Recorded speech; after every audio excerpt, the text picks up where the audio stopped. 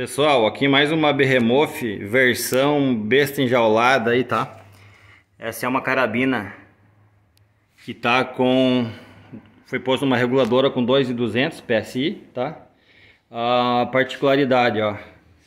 Nosso primeiro supressor de carbono é para as Nova Vistas, tá?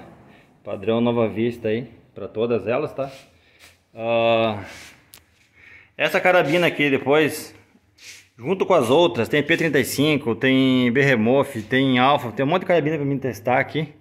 Então agora sábado de tarde e domingo vai ser para testar ela, preparar para enviar elas, tá? A parte de usinagem já foi, anodização.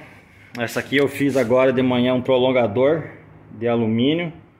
É, para o sobrecano ficar retinho aqui, né? Uh, olha aqui a coronha só foi feito, aqui é a borracha, né?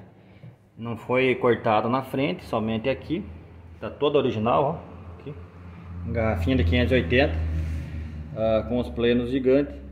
Vamos, ó, ó. Depois eu vou cronografar ela com de 44 gramas. Ela dá uh, 100 joules. Tá bem silenciosa. Deixa eu ver se eu consigo virá-la aqui sozinho aqui, cara.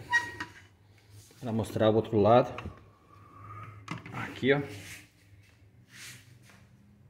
Ok.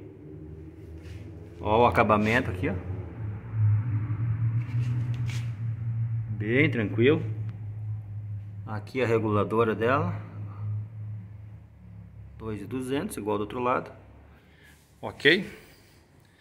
Então tá aqui, de tarde vai ter teste dessas dessas carabinas aí de potência, etc. Mais uma máquina aí, ó. O cliente quer para lida, lida pesada, lida bruta, então tá aí. Ok? Coronha.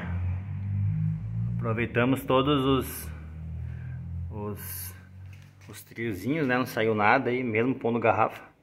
Ficou excelente. Ok?